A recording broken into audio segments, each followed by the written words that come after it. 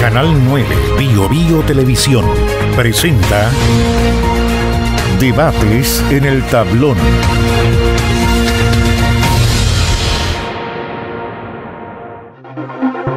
¿Qué tal? ¿Cómo están? Un gusto volver a saludarles en este espacio. El tablón, por supuesto, por las pantallas de Canal 9, Bio Bio Televisión, en estos programas que hemos estado realizando durante las últimas semanas con motivo de las próximas elecciones en el mes de octubre.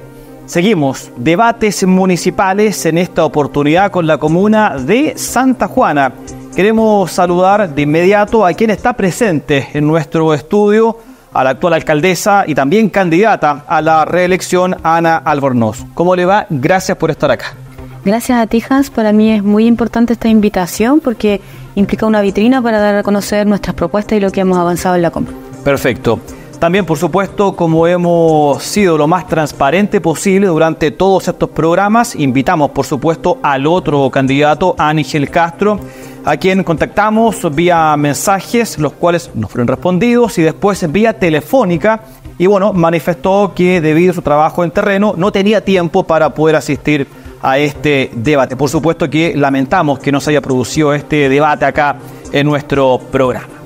Vamos a comenzar de inmediato. La dinámica va a ser siempre respetando eh, lo que hemos planteado durante todos los programas. Y es que teníamos que bueno, tener acá a la candidata eh, porque ella había aceptado previamente esta invitación y como había aceptado teníamos que tenerla por supuesto acá y no porque el otro candidato no habría aceptado, no teníamos que suspender el programa con ella, así que por eso que estamos haciendo este programa de forma, por supuesto, especial con otra dinámica, que va a ser propuestas respecto de cuatro temáticas, tres minutos para aquello y después uno de réplica.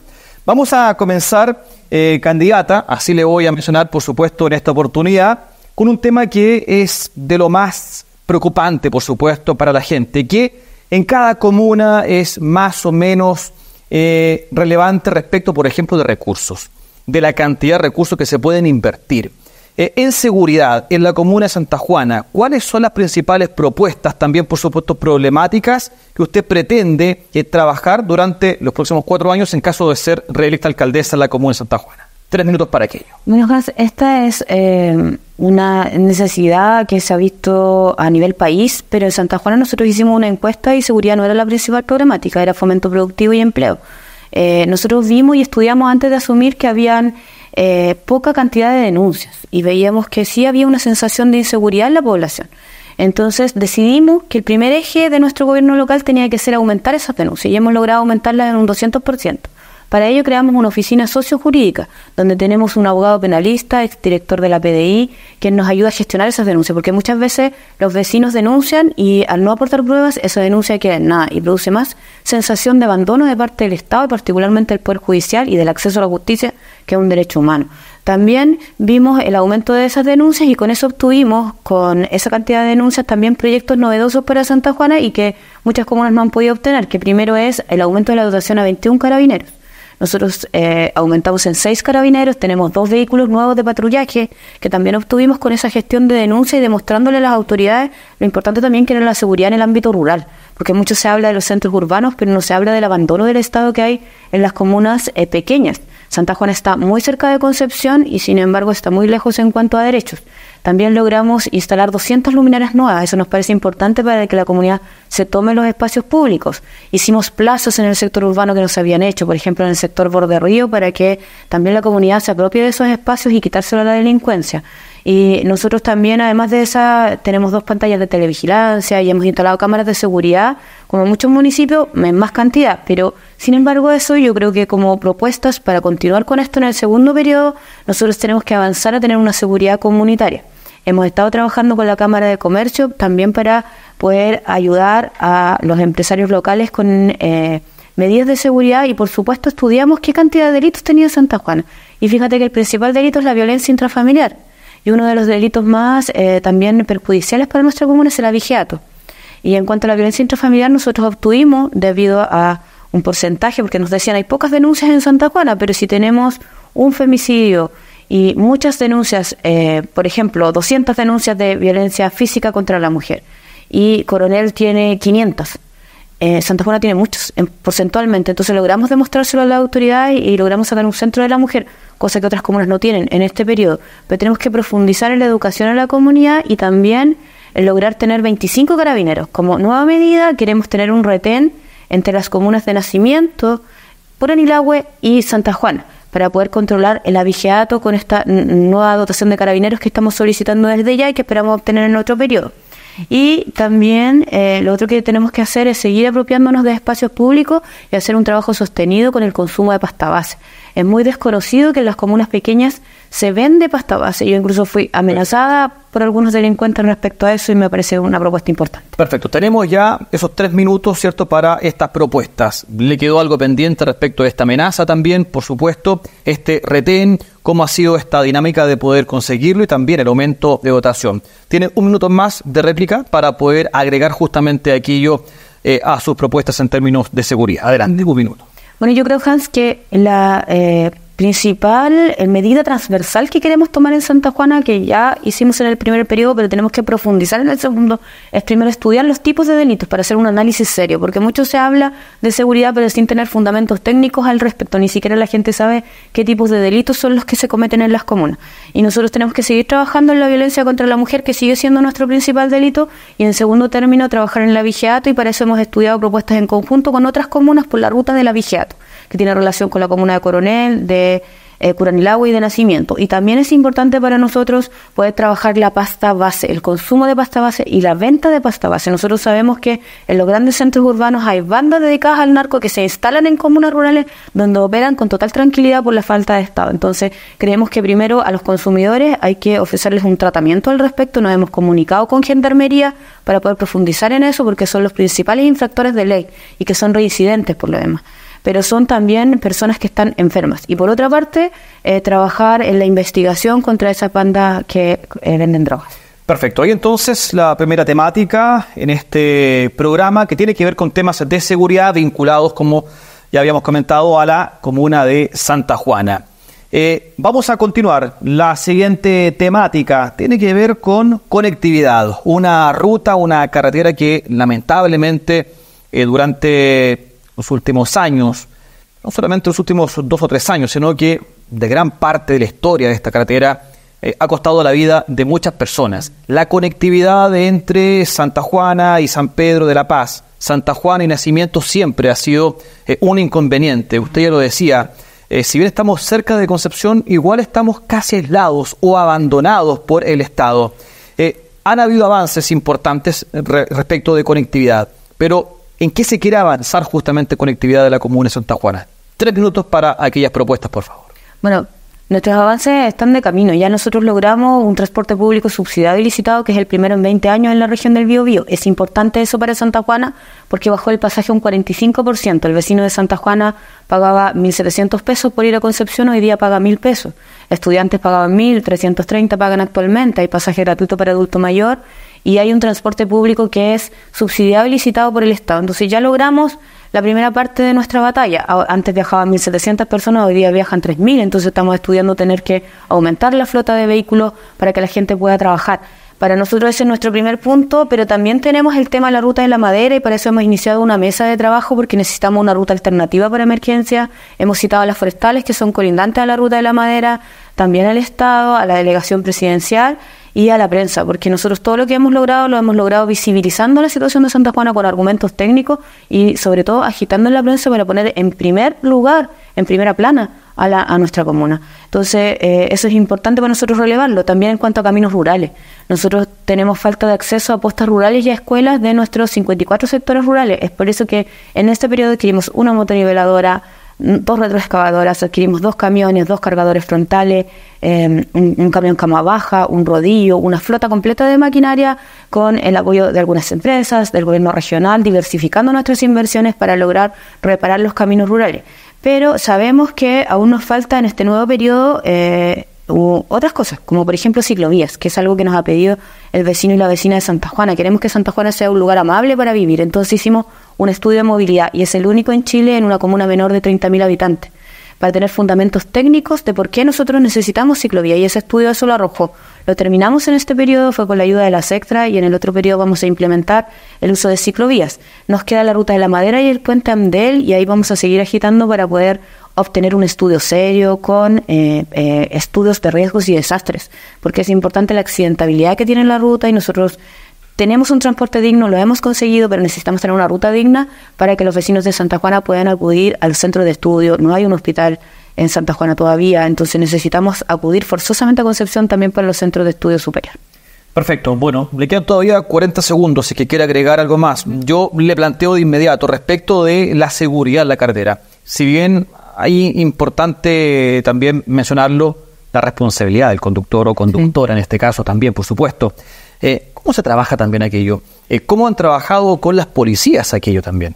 No, nosotros hemos tenido hasta apoyo de carabineros, tanto en la CIAT, en, en, la gestión en los accidentes, y también eh, hemos tenido harto apoyo de carabineros en cuanto a rondas de control de tránsito y la ruta de la madera, nos hemos dado cuenta que hay un problema con los camiones que circulan a exceso de velocidad y eso también es un incentivo perverso porque ellos tienen que cumplir con ciertos tiempos para llevar el alimento a sus familias. Entonces, hemos conversado esto con las empresas forestales porque creemos que las empresas tienen que ser responsables en el territorio en el que operan y en el que están. Y por otra parte también eh, sabemos, porque lo hemos pedido por transparencia, que la ruta de la madera es la ruta que más recursos ha invertido en este gobierno. Y sin embargo vemos frecuentes remociones en masa, frecuentes accidentes. Entonces tenemos que abrirlos a tener un estudio de riesgo de desastre. Lo está haciendo la profesora Edilia de la Universidad de Concepción. También le pedimos apoyo al profesor Palma de la eh, Universidad de Concepción de la Facultad de Geología. ¿Por qué, Hans? Porque eh, nosotros tenemos frente a el, monolito de eh, Matute, tenemos eh, remociones en masa frecuentes y eso produce alta accidentabilidad y cortes en la ruta. Entonces debemos abrirnos también a que la forestal tenga un camino de emergencia para el transporte público y para los vehículos de emergencia, bomberos, carabineros, ambulancias, para que los vecinos estén seguros. Perfecto. Ahí entonces hablamos también de temas de conectividad. Extendimos un poco, por supuesto, la réplica en este, en este espacio. Conectividad entonces y seguridad, primeras temáticas respecto de la candidata Ana Albornoz a la comuna de Santa Juana. Tenemos, por supuesto, dos temas más todavía. Hacemos un breve alto, no se vaya, seguimos acá en El Tablón, por supuesto, por Canal 9, Bio Bio Televisión. No se vaya.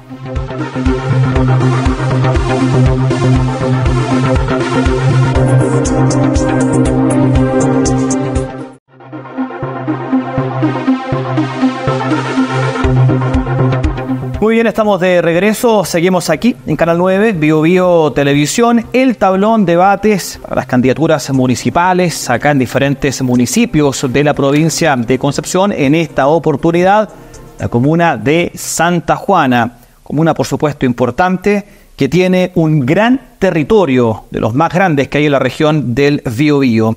Eh, por supuesto, estamos junto a la candidata Ana Albornoz y también queremos repetir que invitamos, por supuesto, al otro candidato, Ángel Castro, quien manifestó que no tenía tiempo, su trabajo en terreno, de asistir a este programa. Bien, tercer tema que tenemos propuesto tiene que ver con temas de fomento productivo, empleo. Es una zona también, por supuesto, Santa Juana, importante, el zona urbana, pero también con importantes terrenos rurales, que también por supuesto siempre es importante mencionar. Eh, respecto de esto, ¿qué propuestas, cómo se trabajaría en los próximos cuatro años? para Santa Juana lo más importante, eh, que lo han dicho sus habitantes, es el fomento productivo y el empleo. Es lo que me han mandatado para este segundo periodo. Nosotros no podemos desconocer que tuvimos grandes catástrofes en la comuna. Una de ellas que fue grado 5, que requirió incluso apoyo internacional, Hans, para poder subvertirla. Eso produjo grandes problemas de salud mental y también un problema en la economía de Santa Juana. Nosotros eh, somos el 36,7% de la producción agroecológica de la región del Biobío. Esto está acreditado por la Universidad del Biobío. Y esa pequeña agricultura es el granero de esta región. Sin embargo, eso no han tenido mucho apoyo. Ahora nosotros hemos conseguido 60 nuevos cupos de Prodesal, que es algo grande. Hemos conseguido apoyos también en bonos para los agricultores, pero nos parece que es necesario fomentar el trabajo y el empleo de nuestros vecinos y vecinas, porque es lo que ellos nos están pidiendo.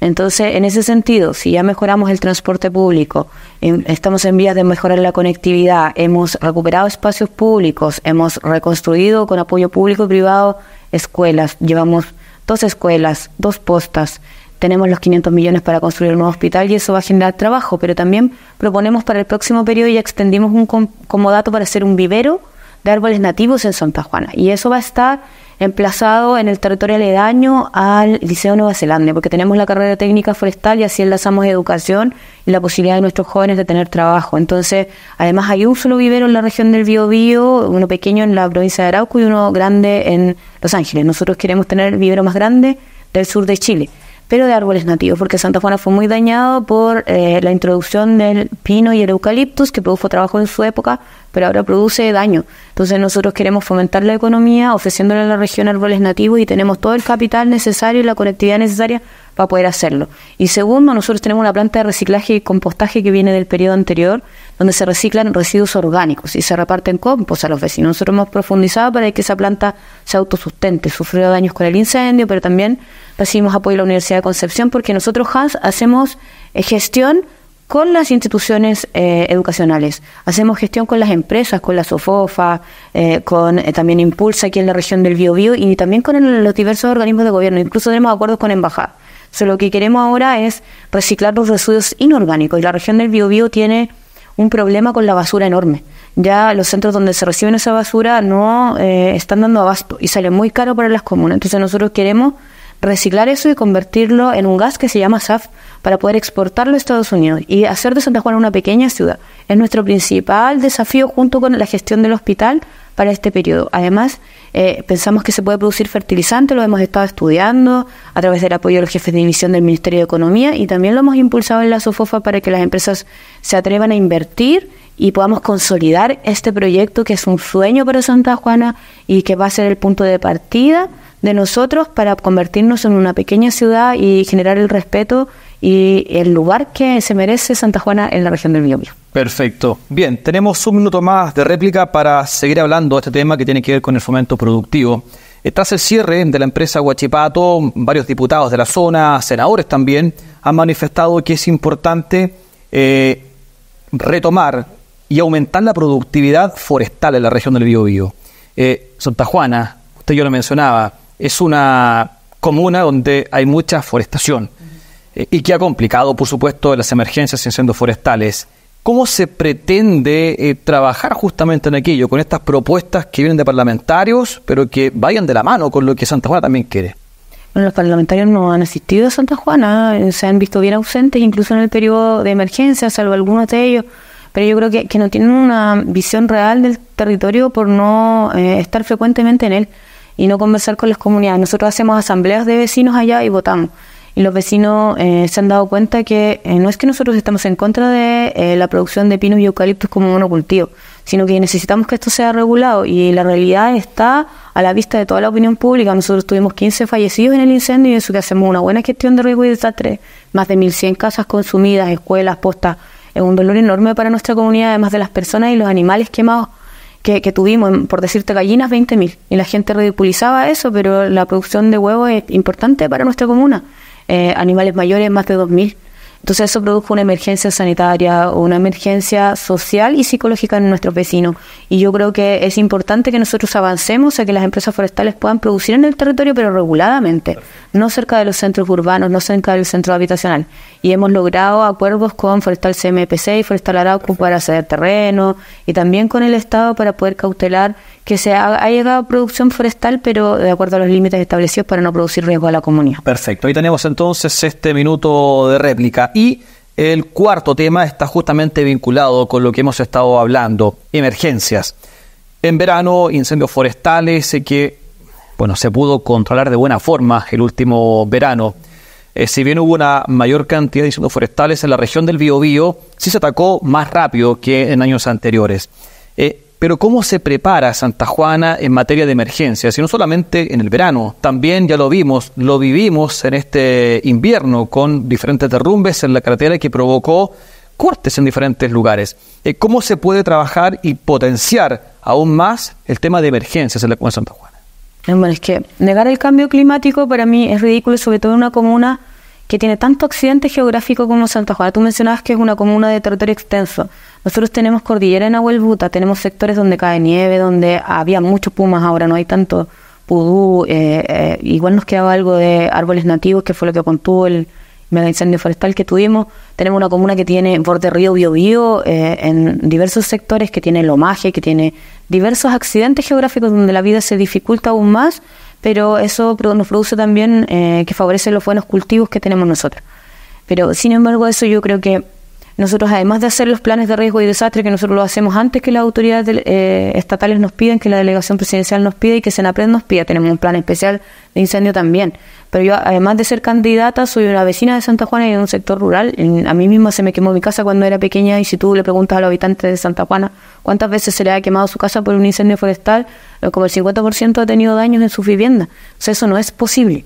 Y yo creo que ahí nosotros tenemos que ser inteligentes y, con la comunidad intentamos hacer educación, nos estamos formando, nos estamos preparando para poder contener incendios forestales, pero es importante eh, conocer las fases de una emergencia para poder prepararse. Entonces uno se prepara, mitiga, responde al incendio forestal, luego rehabilita, o sea, produce los servicios básicos y se reconstruye. Santa Juana eh, produce grandes incendios forestales cada cuatro años, mega incendios forestales, incendios pequeños tenemos todos los años. Entonces no es posible que sea normal, ah, se quemaron 100 hectáreas en Santa Juana, se quemaron 500 hectáreas, ni siquiera salen en un cuadradito la estrella. Entonces para nosotros era importante también hacer una gestión de prensa, visibilizar eso, creo que lo logramos en los medios regionales, también en los medios nacionales, y a partir de eso agitar a que las empresas cumplan en los territorios porque eh, los monocultivos forestales no es una blanca paloma frente al cambio climático y es importante que respeten ciertas reglas para salvaguardar la vida de las comunidades y los derechos humanos en el territorio. Yo creo que eso ha sido nuestra principal gestión. Ahora nosotros tenemos un COGRID, que es un comité de riesgo y desastres, donde comparecen todas las empresas.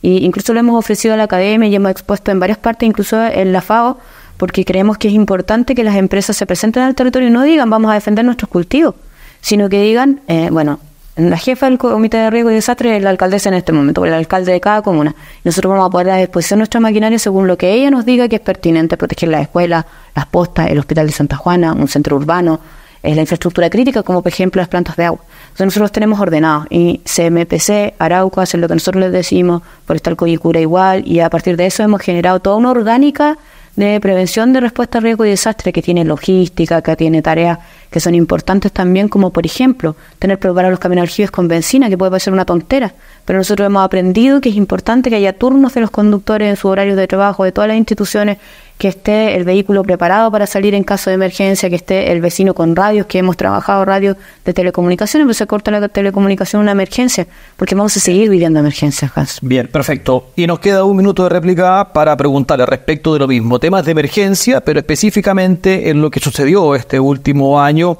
en las carreteras y los cortes de ruta y especialmente la electricidad, que también por supuesto la gente sufrió y bastante con cortes muy extendidos en el tiempo. Un minuto para aquí. Bueno, nosotros sabemos que en nuestras carreteras hay remociones en masa y hay cárcavas, que son como el cáncer del suelo. ¿Qué quiere decir eso? Que esas cárcavas, si no se tratan, es como una enfermedad y producen grandes derrumbes que producen alta accidentabilidad. Nuestra ruta es la más accidentable de Chile. Y por otra parte, sufrimos cortes de los suministros eléctricos. Nosotros hemos tomado la determinación porque la empresa no se quiso someter al procedimiento voluntario colectivo, que es Fronter, y como es un servicio público y es concesionado por el Estado, acabamos de pedirle al presidente de la República que termine la concesión de frontera. Creemos que estamos habilitados por la ley para hacerlo y nos parece improcedente el argumento de la empresa que dice que es un caso mayor o, uh, fuerza mayor o caso fortuito, porque el artículo 45 del Código Civil dice que eso es un hecho imprevisto o irresistible y ellos saben que roban el cable permanentemente, no limpian la faja fiscal, saben que hay temporales, entonces me parece que que el vecino lo pague en su cuenta es improcedente y por eso nosotros queremos que el Estado accione para proteger a los vecinos y vecinas de Santa Juana. Y creo que nuestro rol acá es también poner orden en la comuna, que, mm, decir que nuestros vecinos se defienden, que son visibles, que son valiosos y que el municipio de Santa Juana y la comunidad de Santa Juana tenga protagonismo, no solo en la región, sino que en el país. Perfecto. De esta forma entonces cerramos este programa especial respecto de la candidatura a alcaldesa de Ana Albornoz, actual también alcaldesa de Santa Juana. Muchas gracias por asistir. Gracias a ustedes, Hans, y al canal por la oportunidad. Usted también, por supuesto, muchas gracias por su sintonía. Nos encontramos en un próximo debate aquí en el tablón por Canal 9 Vivi Televisión. Que estén bien. Chao, chao. Canal 9 Bio Bio Televisión presentó Debates en el tablón.